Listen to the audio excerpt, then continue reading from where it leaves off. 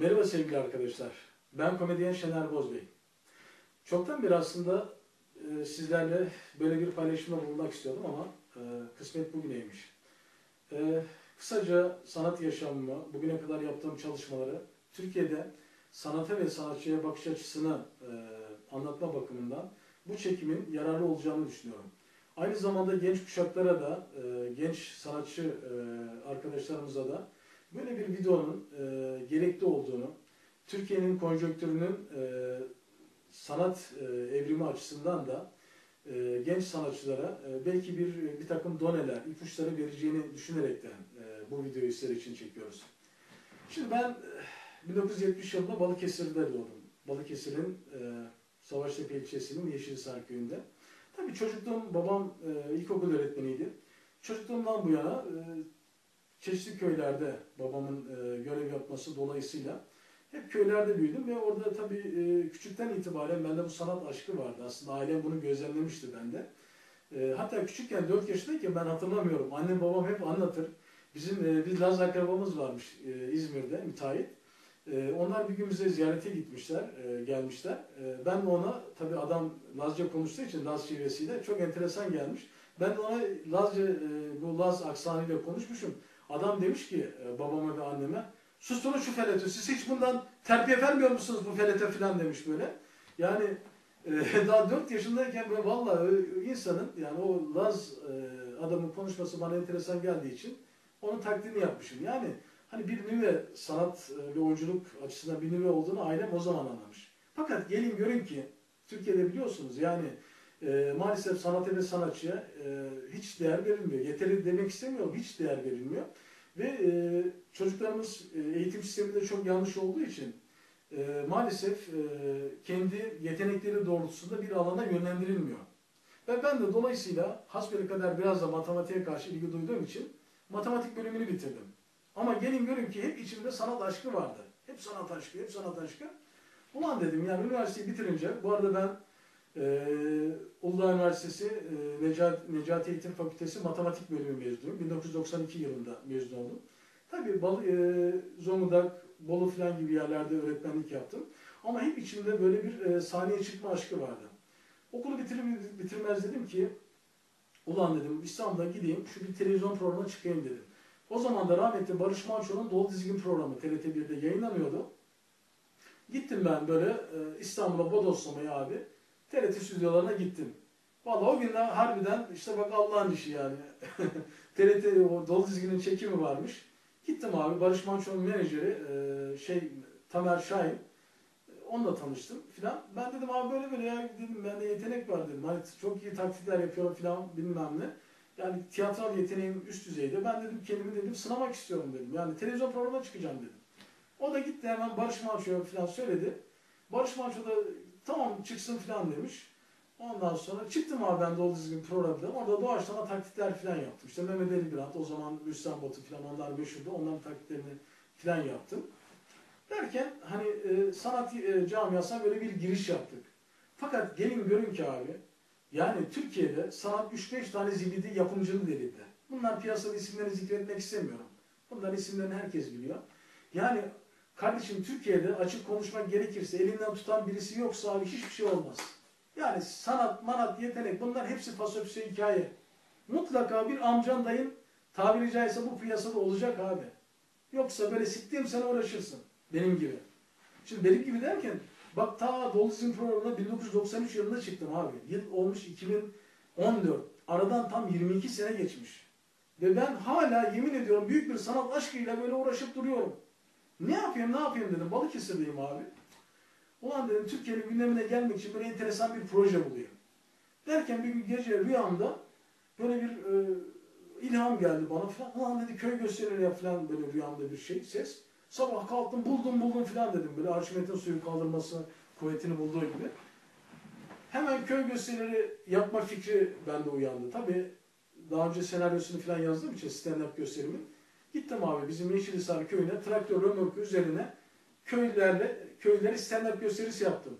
Bu tabii bizim sağ olsun Balıkesirli gazeteci arkadaşlarımız bunu haber yapınca bu Türkiye genelinde e, tabii Hürriyet, Posta falan gibi gazeteler, Zaman Gazetesi gibi gazeteler bunu haber yapınca Türkiye genelinde bu yaptığım iş duyuldu. Yani Türkiye'de ilk kez köyde stand-up gösterisi yapan komedyen benim naçizane. Şener Bozbey.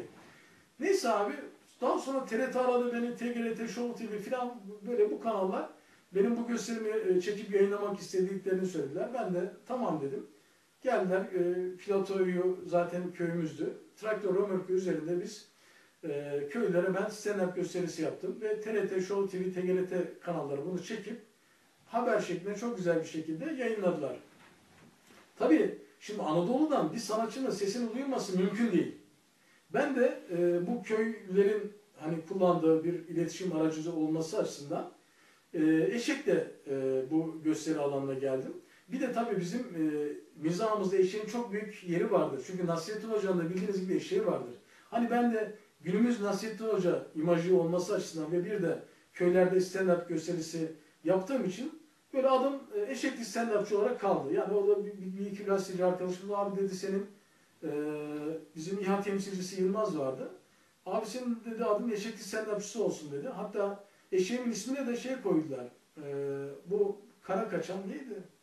E, Kadife Kadife koydu bu Kemal Sunal filminden esinlenerek. Tamam dedim filan. Neyse biz abi öyle işi tutturduk. Sonra bana TGRT'den türkü filmlerinden teklif geldi. Hatta bugün Çetin Altay kardeşimiz var. Çok ünlü oldu. Biliyorsunuz en son e, bu Delisin Delisin filminde başrol oynadı. Ve Oflu Hoca filminde başrol oynadı. Çetin Altay kardeşimizle de o zamandan beri tanışırız. O da sevdiğim bir arkadaşım. E, TGRT'de ben bu abi komedyen olmama rağmen kötü adam rollerimi oynamaya başladım. Bayağı bir işi tutturduk biz. Fakat çekimlere Balıkesir'den gidip geliyorum filan. İstanbul'da kalmıyorum o zaman. Sıkıntı oldu tabii. Ee, daha sonra ben İstanbul'a gelme e, kararı aldım ve geldim. Bu arada say e, şunu söyleyeceğim. Eşekli stand-upçı olarak yani komedyen Şener Bozbey olarak Balıkesir'e meşhur olunca ben çeşitli televizyon programına davet edildim. Mesela Hande Atez'in iki kere iki iki programına davet edildim. Orada Hande Atez'le küçük bir tatsızlık yaşadık. Böyle aramızda hafif böyle bir e, kavga gibi bir şey yaşandı. Şöyle bir e, kısaca bu anekdotu da anlatayım. Hande Atez'de o sıralar şeyden tokat yemişti bu Sevda Demirel'den. Ben de bir hafta sonra programa davet edildim eşekli stand olarak. Bunlar stüdyoya falan eşek getirmişler. Yani olayın böyle bir sansasyonel olsun işte daha böyle bir e, şov e, izlensin açısından ses getirmesi açısından eşe, e, eşek getirmişler stüdyoya. Benim şu gördüğünüz afişi şu pardon, şu gördüğümüz o zaman bunu net yakın çekelim abi. Heh. Bu köy gösterilerinde kullandığım afiş arkadaşlar. Yani o zamanlar kullandığım afiş. Neyse abi bu afişi biz eşeğe sağına soluna astık. Ben işte Hande Ateliz ve Cem Devran programı sunuyordu. Programa çıktım abi. Onlar işte iki arasına aldı beni. Yanımızda da eşek var.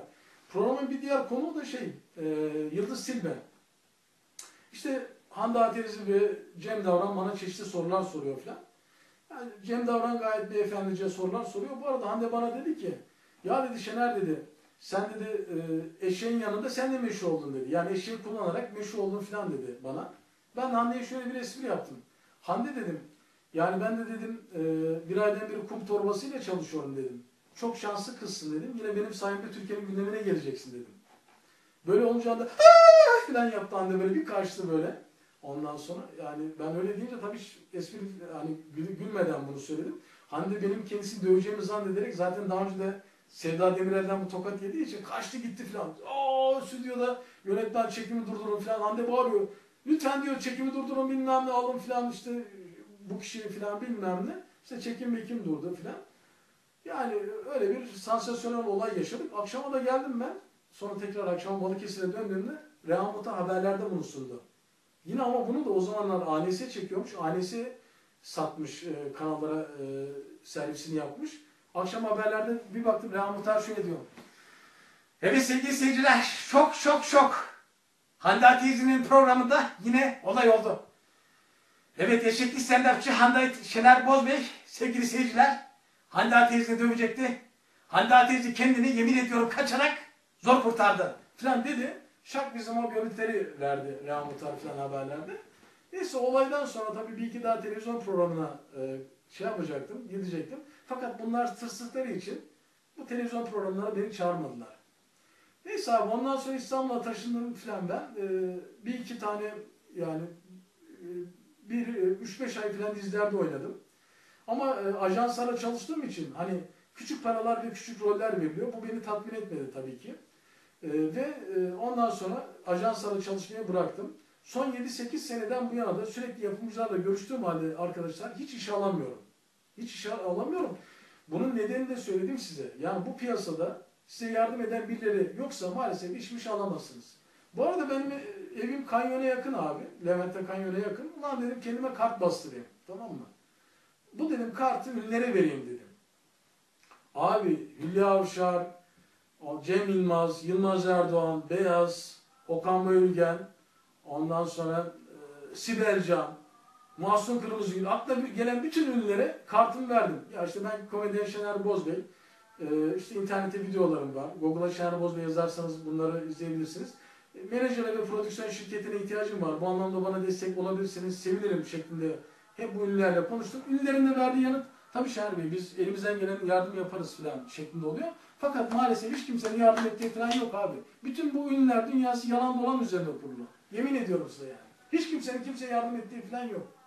Zaten dediğim gibi bu e, sinema dünyasında 3-5 tane soytarı yapımcının elinde. Onlar da işte bir kendi elemanlarını oluşturmuşlar. Dikkat ederseniz dizilerde ve sinema filmlerde genelde hep aynı oyuncuları görürsünüz. Bunun nedeni işte yapımcılar kendi kastını kurmuşlar. Kendi oyuncu elemanlarını oluşturmuşlar.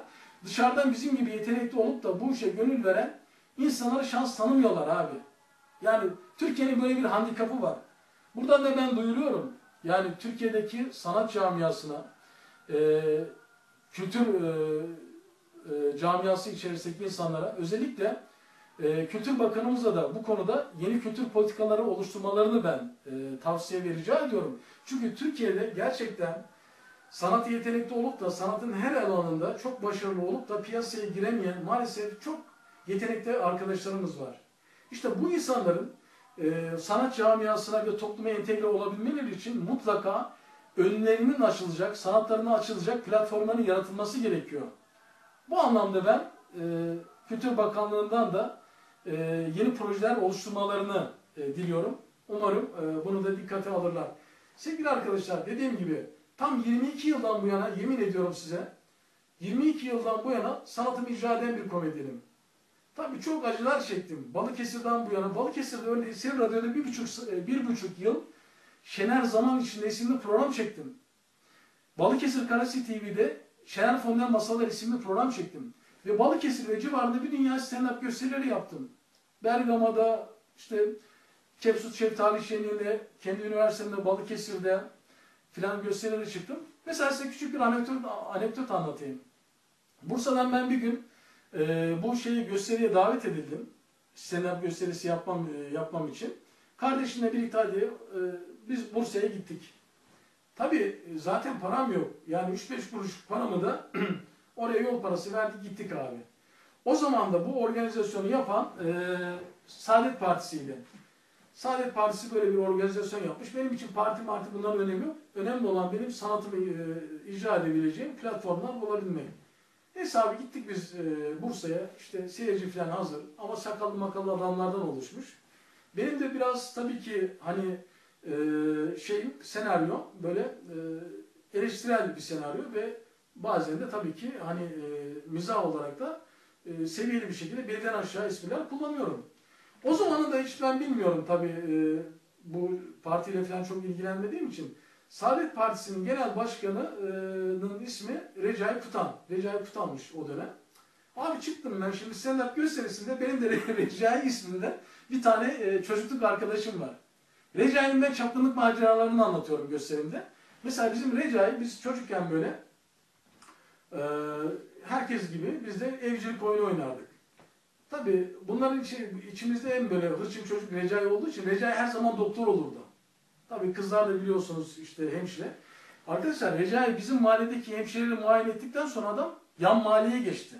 Orada hemşireleri, hastaları, adam hasta bakıcıları dahi muayene etti. Böyle bir adamdı yani Recai.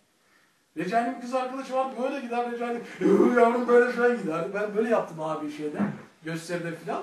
Bu adam sakallı adamlar ho falan gülüyorlar ama bu arada da önlerine falan bakıyorlar. Lan niye dedim bu herifler kendilerini tutuyor. Adam çok gülmek istiyor oradaki sakallı böyle tayfa. taife çok gülmek istiyor fakat kendilerini bir de tutuyorlar böyle. Allah Allah dedim yani bu manyaklar niye böyle yapıyor falan. Ondan sonra mesela ben de çocukken arkadaşlar biz tam akşam ezanı sırasında dağılırdık evlere. Bir keresinde ben akşam ezanından 5 dakika önce eve gitmişim de babam kovaladı. Siktir gıladı. Tam akşam ezanı sırasında gel dedi bana. Ben tabii gittim 5 dakika daha o falan oralarda oyalandım. Tam akşam ezanı sırasına gittim. Yani stand-up'ta böyle şeyler anlatıyordu. Mesela bizim mahallede bir kuyu vardı abi. Mesela biz kuyunun içerisinde büyüklerimiz bizi korkutmuştu. Kuyuya bakarsan işte bizi oradan e, Arap kızı çeker sizi içeriye alır falan derlerdi. Biz hemen mesela kuyunun yanına geçerken akşam ezersen falan böyle geçerdik yani korkudan. Hani bizi Arap kızı çekmesin içeriye diye. Tabii ben büyüdüm, yaşım falan gelişti, 20 yaşta falan geldim. Beni Arap kızı içine çeksin diye böyle akşam ezanı sırasında falan kuyuya bakıyorum ama Arap kızı artık beni içeriye çekmiyor. Çünkü çekse Arap kızla ben ne yapacağımı biliyor Arap kızı. Ya Arap kızı, bu Arap kızlar da böyle fena yani. Hani çok akıllı kızlar. Yani bizim Türk kızlarından daha akıllı olmasın. Yani neyse abi bak.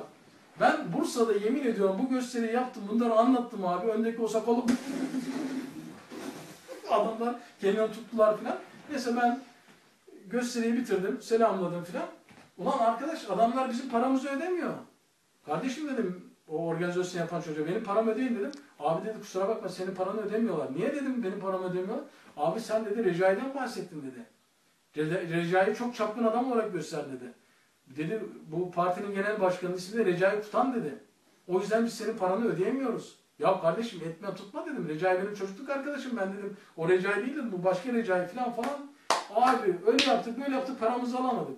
Neyse buradan açık konuşuyorum. Onlara paramı helal etmiyorum abi. Emeğimi helal etmiyorum. Kardeşimle gitmiştik zaten. Zaten param yoktu. Üç kuruşluk paramla öyle gittik geldik. Onlara da hem bu dünyada hem öbürkü dünyada haklarımı helal etmiyorum. Bunu da açık net söyleyeyim. Yani arkadaşlar Türkiye'de işte sanata bakış açısı bu. Sanatçının durumu da bu. Ulan Recai Kutan'la çocukluk arkadaşım Recai'yle ne ilgisi var? Ama arkadaşlar Türkiye'de mantalite bu yani. Rezil bir mantalite var. Yani sanatçı ve sanat arkadaşlar gerekli değeri bulamadığı gibi maalesef para pulda kazanamıyor. Evet sevgili arkadaşlar birinci bölümde sizlerle e, kısaca başımdan geçen e, bu trajik e, sanat yaşamını konuştum. Ve ben 22 yıl boyunca hala dimdik ayaktayım ve emin ol her gün yine yeni bir yapımcıyla e, görüşüyorum. E, ünlülerle görüşüp onlardan e, prodüksiyon şirketi ve menajerlik anlamında destek istemeye devam ediyorum. Ve sanatımı e, icra etmeye de her platformda e, icra etmek için her platformu e, deniyorum. Fakat e, maalesef e, şu anda yine e, herhangi bir şekilde iş alamadım ama yakında inşallah bir yapım şirketiyle e, bir anlaşmamız olur diye düşünüyorum. Çünkü ben işimi çok seviyorum, saygı duyuyorum ve işimi de her zaman bu ciddiyet e, bu ciddiyetle, sevgiyle ve saygıyla yapmaya devam edeceğim. Şimdilik benden bu kadar. Sevgiyle ve aşkla kalın. Sizleri çok öpüyorum. Görüşmek dileğiyle. Hoşçakalın.